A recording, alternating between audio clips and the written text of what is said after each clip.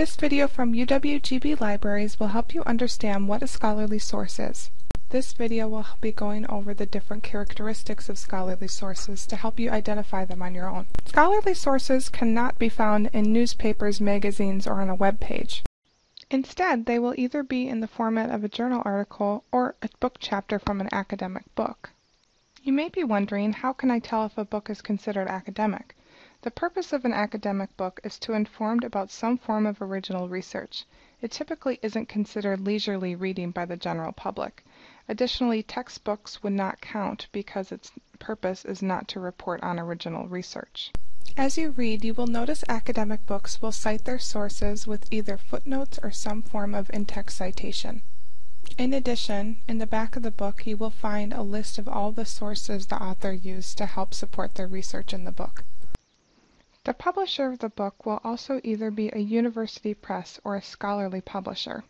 If it's not obvious by the title, you can usually find this out by Googling the publisher. You might also be wondering, what is a journal article? Journal articles are published in journals, sometimes referred to as academic or scholarly journals. They are the same thing. Journals are unlike magazines or newspapers filled with leisurely reading. They instead specifically publish scholarship within a certain discipline. For something to be a scholarly source, some form of original research has to have taken place. If I were an epidemiologist looking to publish my research related to COVID 19, I would publish somewhere like the International Journal of Epidemiology to share with other doctors and researchers within that field. When searching library resources, you can use filters to limit your results to academic or scholarly journals. Depending on the database you are using, the filter names may vary. Not all scholarly journals are peer-reviewed, so keep that in mind if a peer-reviewed article is a requirement for your assignment. See our video on peer-reviewed sources for more information. Scholarly articles are usually at least five pages long, if not more. It's not uncommon to find a 20-page research article. Sometimes even 50 can be normal.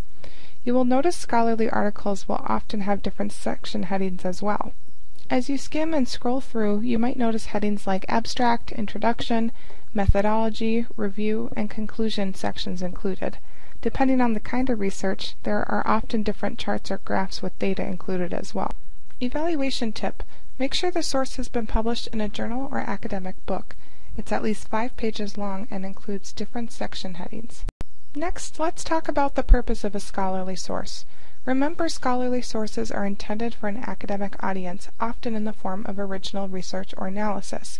They are meant to advance the field of research, allowing others to build upon each other's knowledge. As an evaluation tip, skim through the publication information, abstract, or introduction to find evidence of original research or analysis. Next, we'll talk about the authors of scholarly sources. The authors will be experts within their field, such as a doctor, scientist, or professor. These experts have high levels of education, which is why they are considered experts. Here you might recognize people like Dr. Anthony Fauci, Toni Morrison, and Jane Goodall. You can find their research in medicine, literature, and science in scholarly journals. Keep in mind, experts don't necessarily have to be well known to you or a public figure. When your own professors publish their research in scholarly journals, they are viewed as experts too. When evaluating, check the author's credentials. If the article itself does not provide the credentials for the author, you can always look them up.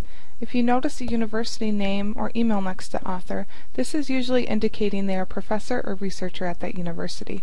Next we will talk about language and terminology in scholarly sources. Because scholarly sources are written by experts for other experts within their field, they will use advanced terminology from their discipline that might not be common knowledge for the general public. This is why scholarly articles can feel intimidating to read at first.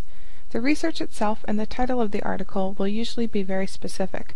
In this article, the title includes the scientific word for the species they are studying rather than just using invasive round goby for the title. As you're evaluating, check the title or skim article for discipline-specific terminology or simply formal language being used. The last characteristic we will be looking at is sources and citations within scholarly sources. Scholarly sources will always formally cite their sources. Depending on the citation style, the source will either have in-text citations or footnotes within the article. There will also always be a formal bibliography, works cited, or reference list at the end, depending on the citation style. When evaluating, look for formal citations at the end of the article as well as formal in-text citations or footnotes. To conclude, when trying to determine if something is scholarly, take all of the factors into consideration. Just because you find one characteristic when evaluating does not mean it automatically qualifies as a scholarly source. Visit our Scholarly Sources Guide in this URL for more information. Thank you for watching our video. If you have any questions about scholarly sources, please contact a librarian by visiting our research help page.